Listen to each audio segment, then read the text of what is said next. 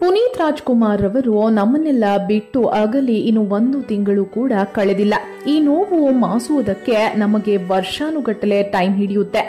ಅಷ್ಟರಲ್ಲಿ ಮತ್ತೋರ್ವ ದೊಡ್ಡ ದಿಗ್ಗಜ ಈಗ ಆಸ್ಪತ್ರೆಗೆ ದಾಖಲಾಗಿದ್ದು ಅವರ ಪರಿಸ್ಥಿತಿ ಗಂಭೀರವಾಗಿದೆ. ಹೌದು ಸ್ನೇಹಿತರೆ, ನಾಡ ಬ್ರಹ್ಮ ಹಂಸಲೇಖರ್ ಅವರು ಆಸ್ಪತ್ರೆಗೆ ದಾಖಲಾಗಿದ್ದಾರೆ. ಅವರಿಗೆ ಏನಾಗಿದೆ? ವೈದ್ಯರು ಹೇಳಿದ್ದಾದ್ರೂ ಏನೋ?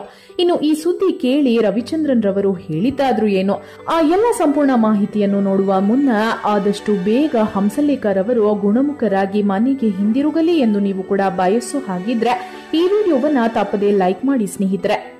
ಯಾವಾಗಲೂ ಎಲ್ಲರನ್ನೂ ನಗಿನಗಿಸುತ್ತಾ ಸದಾಕಾಲ ಲವಲವಿಕೆಯಿಂದ ಇರುತ್ತಿದ್ದ ಹಂಸಲೇಖರ್ ಅವರು ಇತ್ತೀಚೆಗಷ್ಟೇ ಪೇಜಾವರ ಶ್ರೀಗಳ ಬಗ್ಗೆ ಅವಹೇಳನಕಾರಿ ಹೇಳಿಕೆ ಕೊಟ್ಟು ವಿವಾದಕ್ಕೆ ಗುರಿಯಾಗಿದ್ರು.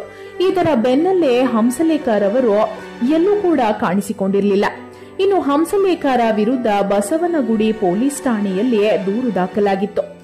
ಇನ್ನು ವಿಚಾರಣೆಗಾಗಿ ಎರಡು ಬಾರಿ ನೋಟಿಸ್ ಕೊಟ್ಟಿದ್ದರೂ ಸಹ ಹಂಸಲೇಖರ್ ಅವರು ಹಾಜರಾಗಿರಲಿಲ್ಲ. ಆದರೆ ವಿಚಾರಣೆಗೆ ಯಾಕೆ ಬರೋಕಾಗ್ತಿಲ್ಲವೆಂದರೆ ಹಂಸಲೇಕಾರ್ ಅವರಿಗೆ ಆರೋಗ್ಯದಲ್ಲಿ ಏರುಪೇರಾಗಿದ್ದು ಆಸ್ಪತ್ರೆಗೆ ದಾಖಲಾಗಿದ್ದಾರೆ. ಅದಕ್ಕಾಗಿ ವಿಚಾರಣೆಗೆ ಬರಲು ಇನ್ನು ಕೆಲವು ದಿನ ಅವಕಾಶ ನೀಡಿ ಎಂದು ಹಂಸಲೇಕಾರ್ ಅವರ ವಕೀಲರು ಮನವಿ ಮಾಡಿದ್ದಾರೆ. ಹಂಸಲೇಕಾರ್ ಅವರಿಗೆ ಎಪ್ಪತ್ತು ವರ್ಷ ವಯಸ್ಸಾಗಿದೆ ಮತ್ತು ಅವರಿಗೆ ಆರೋಗ್ಯದ ಸಮಸ್ಯೆಗಳಿವೆ ಎಂದು ಅವರ ಪತ್ನಿ ಕೂಡ ತಿಳಿಸಿದ್ದಾರೆ.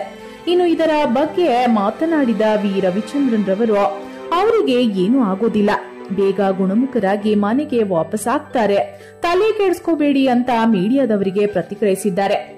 ಇನ್ನು ನೀವು ಕೂಡ ಹಂಸಲೇಖರ್ ಅವರು ಗುಣಮುಖರಾಗಿ ಬೇಗ ಮನೆಗೆ ಹಿಂದಿರುಗಲಿ ಎಂದು ಬಯಸ್ತಾ ಇದ್ರೆ ಗೆಟ್ ವೆಲ್ ಸೂನ್ ಸರ್ ಅಂತ ನಮಗೆ ಕಮೆಂಟ್ ಮಾಡಿ ತಿಳಿಸಿ ಹಾಗೆ ಈ ವಿಡಿಯೋವನ್ನ ತಪ್ಪದೆ ಎಲ್ಲರಿಗೂ ಶೇರ್ ಮಾಡಿ. ಧನ್ಯವಾದಗಳು.